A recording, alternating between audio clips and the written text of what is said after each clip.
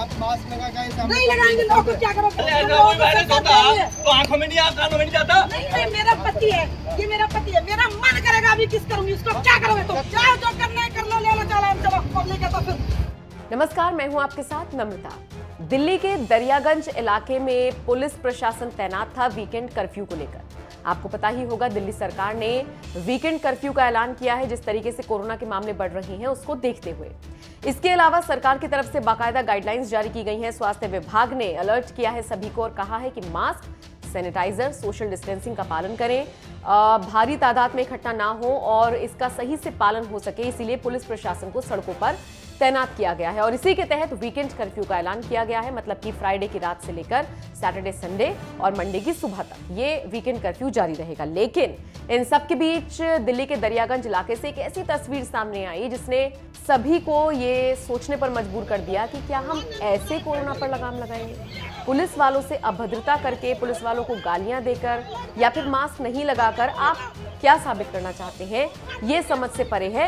ये सवाल हम पूछ रहे हैं उस कपल से जो जिसकी हम बात करने जा रहे हैं।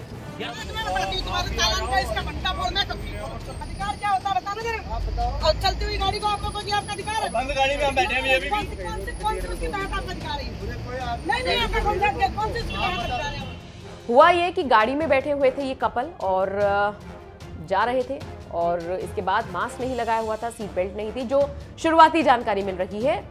उसके लिहाज से हम आपको बता रहे हैं। तो ज़ाहिर तौर पर पुलिस वालों ने रोका। सवाल पूछा कि आपने मास्क क्यों नहीं लगाया हुआ है, जिसके बाद अपनी गलती मानते हुए अपोलोजाइज करने के बजाय ये जो कपल था, ये गाड़ी से बाहर निकला।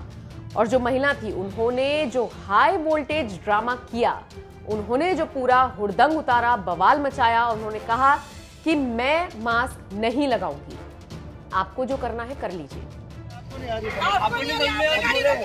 आप मास्क लगा के सामने। नहीं लगाएँगे लोग तो।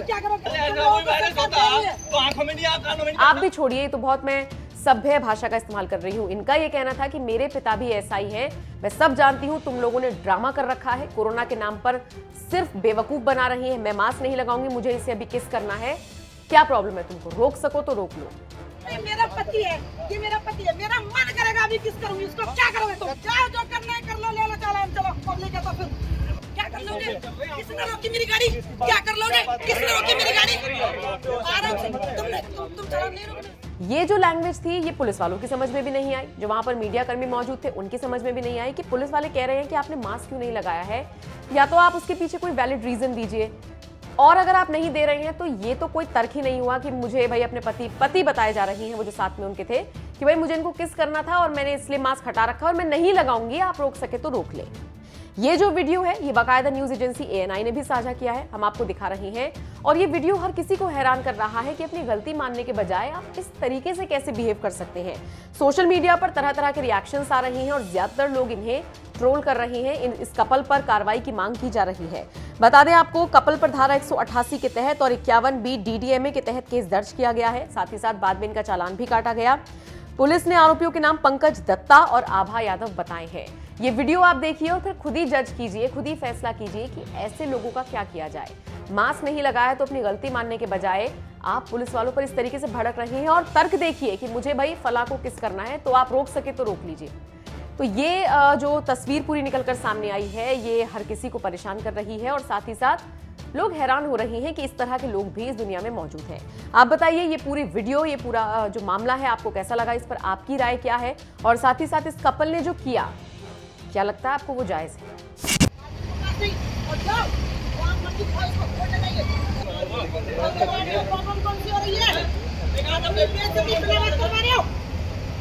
अगर मैं सीधी पड़ी और पब्लिक सीधी पड़ गई ना तो हमारा मुख्यमंत्री या हमारे प्रधानमंत्री सारे चले लिए और साथ में अभी मैं इसको किस करूँगी तो क्या कर लोगे और तो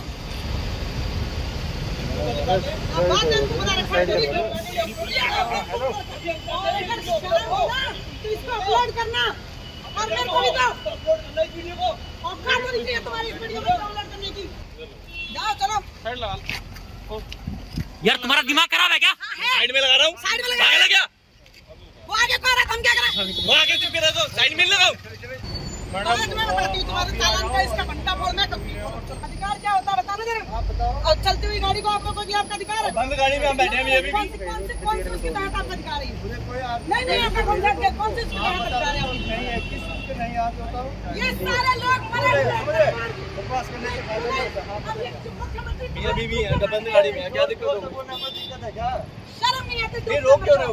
रोक रहे हैं। पुलिस वाले हो? के बिना बात सुन रहे हो पब्लिक तो समझ नहीं आ रही मैं बंद गाड़ी में अपनी बीवी के साथ समझ आ रही आपको नहीं आ रही। आपको आपको नहीं नहीं समझ में आ रही रोकी कहता हमारी। आप मास्क लगा के सामने नहीं लगाएँगे लोग क्या करोगे? अरे ऐसा कोई वायरस होता दे रही है। तो आँखों में नहीं आप कानों में नहीं जाता? नहीं नहीं मेरा पति है। ये मेरा पति है। मेरा मन करेगा अभी किस करूँगी इसको क्या करोगे तुम? जाओ जो करना है कर लो ले लो चालान चलो पब्लिक है तो फिर। क्या कर लोगे? किसने रोकी मेरी गाड़ी? क्या कर लोगे? किसने रोकी मेरी गाड़ी? आराम से। तुमने तुम चालान नहीं लोगे मेरे से?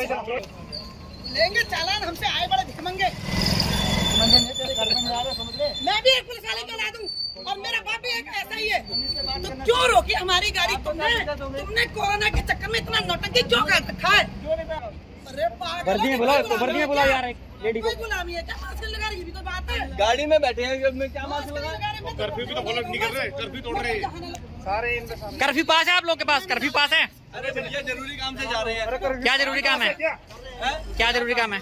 यहाँ पे भैया एक क्या कहते हैं भैया के पास है उनके पास बीवी की तबीयत खराब है उनको गाड़ी लेके जाना है। आगे सर लेडी लेडी कांस्टेबल आगे। लेडी कांस्टेबल ओ भाई। गाड़ी की चाबी ले लो। मेरी आवाज़ नहीं छोड़ो मैडम। बिना मास्क है नहीं है। चलो चलो। ले ले भाई चल इसकी दिखा दे